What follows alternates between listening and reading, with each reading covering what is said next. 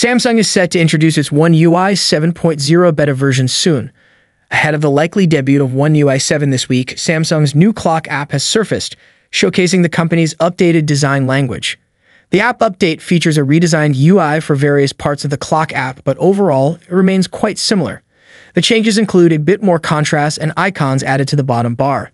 The more significant changes are visible on the home screen. Samsung's new icon design for One UI 7, which has been seen in previous leaks, is evident in this app update.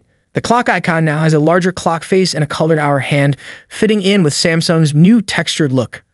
Additionally, all widgets have been revamped with larger shapes and completely opaque backgrounds.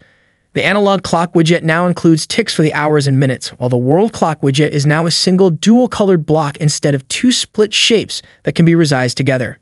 This aligns with previous leaks showing Samsung's emphasis on rounded UI elements in One UI 7. This early app update suggests that Samsung's version of Apple's Dynamic Island doesn't rely solely on the app itself.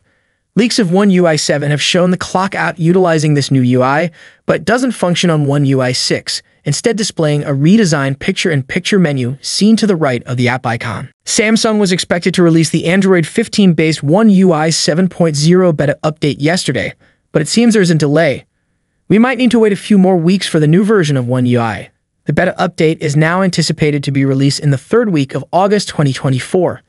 The delay is reportedly due to the upcoming One UI 6.11 update, which is set to roll out to older foldable phones, tablets, and some high-end phones.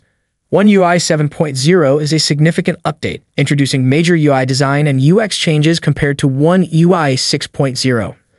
The One UI 7.0 beta will initially be available for the Galaxy S24, Galaxy S24 Plus, and Galaxy S24 Ultra, likely starting in South Korea. It will also be released in Germany, India, the UK, and the USA, with China possibly getting access a few days later.